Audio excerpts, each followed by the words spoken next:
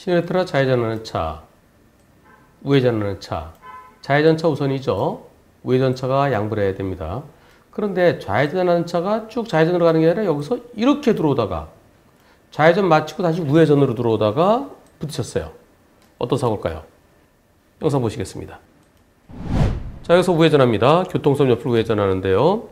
저쪽에 택시가, 택시가 우회전 깜빡이 켜고 들어옵니다. 우회전 깜빡이 켜고, 우회전 깜빡이 켜고, 택시는 충전소로 들어가려고 그랬어요. 저 택시가 아까부터 보이는데요. 여기 있습니다, 여기. 근데 불박차가 이렇게 가는데 저 택시가 안 보이죠? 안 보이는 상황입니다.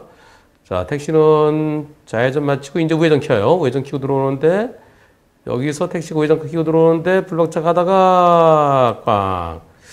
요 앞에 삼각형이 있죠? 요 삼각형. 잘 안 보이지만 삼각형이 있습니다. 역삼각형 이렇게. 요건 여기가 여기 차가 양보하라는 거예요. 똑바로 가는 차한테는 양보하지만 이 차가 이렇게 들어오는데 저거는 좌회전 마치고 대각선으로 여러 차로를 들어오는 저 좌회전 했다가 우회전한 차가 충전소로 LP 충전소로 하는 차가 가해 차량 아닐까요? 이런 질문입니다. 보험사에서는 뭐라 그러냐면은 음, 상대 측은 불박차 80이라 그러고요. 불박차 보험사는 불박차 70이라 그럽니다. 근데 불박차 운전자는 아, 상대가 더 잘못한 것 같다. 내가 우회전에 가는데 저 차가 깜빡이도 미리 30m 전에 익숙해야지. 거기서 좌회전 마치다가 깜빡이 키자마자 쑥 들어오면 나보고 어쩌라는 얘기냐. 난 그 차 쭉 갈 줄 알았지. 저는 이렇게 대답했습니다. 택시가 깜빡이 갑자기 들어왔다 그러면 택시가 가해 차량이지만 택시가 좌회전 하다가 좌회전 마치면서 우회전 깜빡이 바꿔갖고 들어왔다 그러면 그러면 우회전한 차가 좌회전한 차 쭉 갈 수도 있고 또 좀 크게 그리는 차도 있고 또 좌회전해서 우회전으로 또 저 길가에 쓰려고요. 그런 차도 있으니까 좀 살폈어야 되는데 우회전 차의 잘못이 더 좀 커 보입니다. 라고 했어요. 근데 또 좀 그 좀 서운해 하세요. 어, 제가 속도도 빠르지 않았고요. 제가 천천히 가고 있었는데 근데 그 차가 빨리 와서요. 상대차 빨리 왔잖아요. 그리고 깜빡이는 30m 전에 켜야 된다고 그랬는데 그 상대차가 우회전 깜빡이가 늦은 거 아닌가요? 그런데 좌회전 마치고 바로 오른쪽으로 들어가려고 그러면 방법이 없죠. 그리고 원칙적으로 좌회전한 좌회전한 차의 공격권이에요.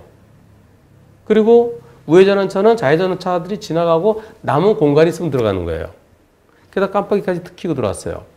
그래서 저는 보험사 말대로 불박차가 70 내지 80% 잘못했다는 의견입니다. 우회전하는 차도 우회전하면서 깜빡이도 무척 무턱, 무턱대고 들어가면 안 되죠. 이렇게요. 그림을 이렇게 그려주셨는데요. 여기서 이렇게 자, 우회전하는 차가 있으니까 여기서 이렇게 오다가 꺾어가는 차도 주변을 좀 살피고 들어왔을 때 그러지 못한 거. 아, 택시의 잘못을 한 20 내지 한 30 정도 보고 싶습니다. 근데 제가 틀릴 가능성도 있죠? 그래서, 아, 한문철 TV 시청자분들은 어떻게 생각하시는지 여쭤봤습니다. 과연 어떻게 나왔을까요? 우회전하던 불박차가 더 잘못했다가 72%, 좌회전으로 대각선으로 온 택시가 더 잘못했다 27%. 제가 택시 잘못 한 20, 30%라 그랬는데 그거랑 비슷하네요. 항상 우회전은요, 교통수험 옆으로 우회전하는 것도 그것도 신호에 따라 좌회전이나 신호에 따라 직진하는 차에게 양보를 해야 돼요. 따라서 항상 비어있는 차로 들어가는 거잖아요. 지금처럼 택시가 좌회전하다가 우측으로 빠질 수도 있으니까요.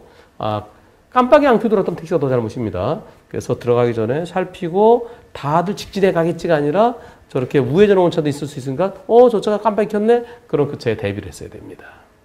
질문자분께는 좀 아쉽지만은 우회전차가 양보를 했어야 되기 때문에 아쉽게도 우회전차 7, 80 대각선 들어온 깜빡이 켜고 들어온 택시 잘못 2, 30 정도로 보입니다.